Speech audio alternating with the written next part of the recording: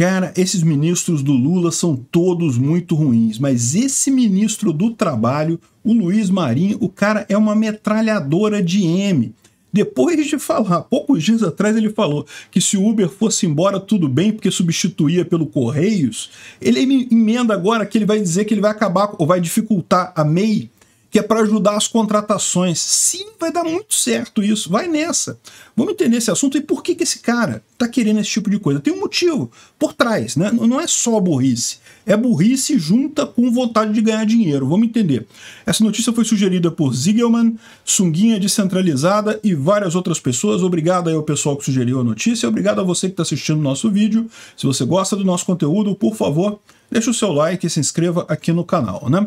Pois bem, então, o senhor Luiz Marinho, que é o nosso ministro do Trabalho e comediante é, stand-up é, inconveniente de tempos em tempos, né? Falando um monte de coisa engraçada. Aliás, isso é uma coisa que a gente tem que reconhecer, né? É, a, a, volta do PT ao poder voltou esses elementos de, de coisas absurdas, né? De comédia pastelão ao governo, né? Depois daquelas coisas que a Dilma falava, tudo bem, a Dilma é insubstituível, mas esses ministros do, do Lula estão fazendo um esforço, cara, estão, estão se esforçando para chegar no nível da Dilma, né? Então, olha só, o governo federal pretende reavaliar as regras do MEI para facilitar contratações com carteira assinada. Peraí, então quer dizer que eles não vão reavaliar o custo da carteira assinada, não. Ao invés de baixar o custo da carteira assinada, eles vão aumentar o custo da MEI, né? Certamente vai ser com mais impostos, né? Sempre vai ser isso, não tem outra medida que eles possam fazer. Eles vão aumentar o custo da MEI para incentivar o pessoal para ir para a carteira assinada. Adivinha o que, que vai acontecer? O pessoal vai para informalidade. A MEI existe exatamente por quê? Porque tem um grupo grande no Brasil de informais que não paga nada, porque é tudo informal, eu acho ótimo isso.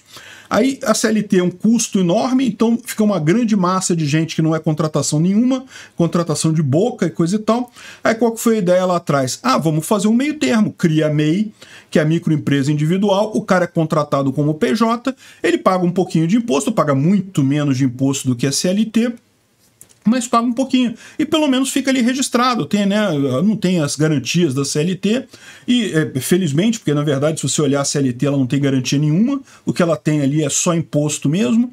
Mas enfim, o cara fica ali numa posição intermediária. Para isso que serve a MEI, é como a maior parte das pessoas usa hoje. A maior parte das pessoas que trabalha como PJ trabalha como MEI.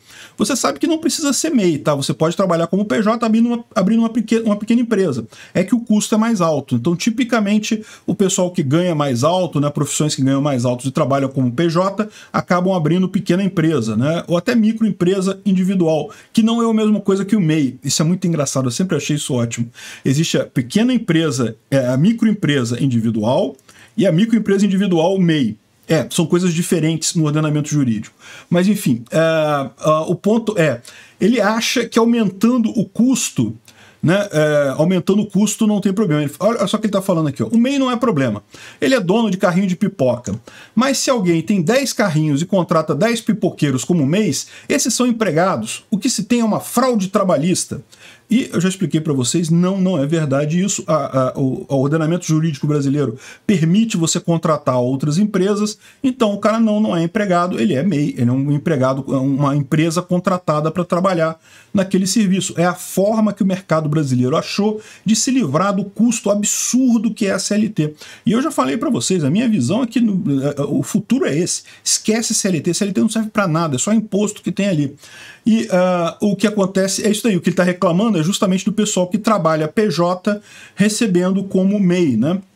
E já está aprovado um aumento do teto do faturamento do MEI. Já foi aprovado lá pelo Bolsonaro. Aí o que ele coloca aqui é: olha só, mas isso poderia provocar uma redução na arrecadação do governo. E esse é o ponto. Isso é que eles estão preocupados. Quando eu falo para você que a CLT é um bando de imposto, é isso, é isso que eles estão preocupados. O CLT tem que pagar imposto, não tem saída, o dinheiro vai para o governo de qualquer jeito. O MEI, o imposto é menor, né?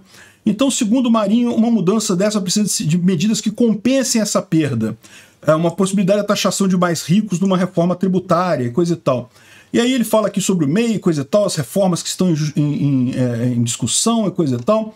E uh, e outro ponto importante aqui, ou seja, ele está querendo aumentar alguma coisa no MEI, dificultar o MEI, justamente para não perder é, é, reforma, não perder receita do governo. Outra coisa, lembra que ele falou sobre questão dos trabalhadores de aplicativo, né? E daí, uma coisa que ele está estudando, ele está estudando a proposta ainda, a gente não sabe qual vai ser essa proposta. Certamente, no momento que houver essa proposta de regulamentação dos aplicativos, a gente vai falar sobre ela aqui. Mas o que ele está dizendo aqui é justamente que a, a, a, proposta que ele tem agora é obrigar as pessoas que trabalham com aplicativo a uh, se inscrever no INSS e pagar INSS sobre o que recebem. O que, que isso significa para o pessoal que trabalha com aplicativo? Imposto, só imposto. Porque para para pensar, INSS de autônomo é entre 11% e 20% do que você recebe você paga de INSS. E em troca disso, o que você tem é que você pode se aposentar acima do mínimo quando você se aposentar. E você tem direito a usar os produtos do SUS, mas o SUS já é de gratuito para todo mundo de qualquer forma, né? Então não faz diferença. O que você vai ter é uma aposentadoria com um valor maior lá na frente, né? Só que o que acontece com isso? Você vai ter que contribuir com 11%, no mínimo, entre 11% e 20% do que você recebe para o INSS. E repara, é isso mesmo que ele quer. Olha o que ele coloca aqui. Ó. A estimativa é que 2 milhões de pessoas trabalhem em aplicativos e o público geraria receita para o Ministério da Previdência. Ah, entendeu? Entendeu por que ele quer acabar com, a, com o MEI e quer ir todo mundo para a CLT? Entendeu por que ele quer é, é, é, regulamentar o trabalho do pessoal que trabalha com aplicativo? É porque ele está preocupado com o trabalhador? É porque ele está querendo os, os direitos da CLT? Porcaria nenhuma, não tem direito nenhum na CLT, não tem porcaria nenhuma ali. Tudo ali é pago pelo próprio trabalhador. O que acontece é isso, ele quer arrecadação, ele quer arrecadar dinheiro, e isso é uma coisa que o governo tem sentido. Esses aplicativos de, de, de transporte, de entrega, de táxi, coisa e tal, todos eles acabam gerando muito menos receita para o governo. É o que eu falo, a CLT, justamente, é o grande beneficiado da CLT não é o patrão, não é empregado, é o governo, é o governo que ganha dinheiro com a CLT. E agora o que eles estão querendo é fazer esse mesmo modelo na contratação PJ e na contratação via aplicativo, né? Ou seja, uma coisa absurda, completamente absurda. No final, tudo se resume a isso: a governo querendo arrecadar mais, né? E uh, é lógico, ele diz que é contrário a mototáxi por aplicativo. Quem imaginou que ele não seria contrário a isso, né? E mais do que isso, a contribuição para o INSS também está aumentando já agora. E de novo, é outra coisa que prejudica os mais pobres. Por quê? Porque come uma percentagem maior do salário de quem é pobre. Né? Eu explico. Você tem que pagar uma porcentagem do, INSS né, do seu salário, mas se você é autônomo, isso se limita a 20% de 6 mil reais, alguma coisa assim. Então tem um teto. Você não paga mais do que aquilo. Se você trabalha como, com negócio, como, como empresário, você limita naquilo ali o quanto você paga de INSS. Então, isso acaba comendo uma, um percentual maior do salário de quem é mais pobre, de quem ganha menos de 6 mil reais por mês, e é, é, é, percentualmente é menos de quem ganha mais de 6 mil reais por mês. Né? Então, é isso daí. É, no final das contas, meu amigo, é isso que o governo quer. O governo é uma máquina de arrecadar dinheiro para ajudar político, amigo de político e funcionário público de alto escalão. Tirando isso, amigo, o resto é gado. Eles estão cultivando a gente para colher os frutos da gadaiada que está aqui trabalhando. Obrigado por assistir o vídeo até o final. Além de curtir, compartilhar e se inscrever no canal, considere se tornar patrocinador com valores a partir de R$ 1,99. Clique no botão Seja Membro abaixo para saber as condições e vantagens de patrocinar o canal. Mais informações sobre o nosso projeto, visite nossos sites indicados na tela.